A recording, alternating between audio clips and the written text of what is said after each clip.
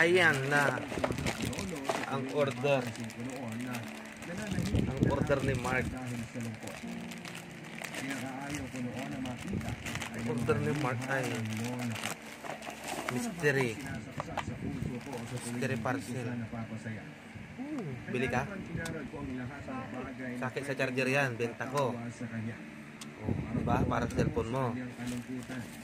Ito ang dahilan marahil kung bakit lumaki akong komedyante sa lahat.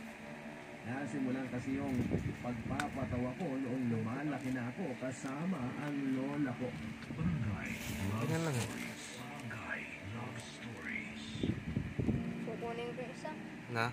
Noong nasa kalagitnaan isa. ako ng kolehiyo ay Bili mo? bihira na ang pag-uwi ko noon sa Bicol.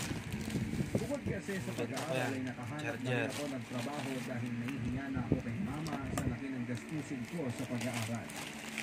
Nagtrabaho ako noon Ang bilang assistant sa isang politiko na kakilala Bili ni na. mama. Sakit. Wala na ako halos oras noon para sa sarili ko at Eh. nauubos lahat. sa Dalawa lang, tatlo at to.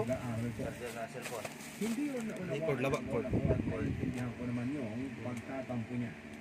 Ang bihirang pagdalaw ko kasi Okay. noon ay umabot sa puntong hindi na ako talaga nakakauwi kahit na Pasko. Doktor.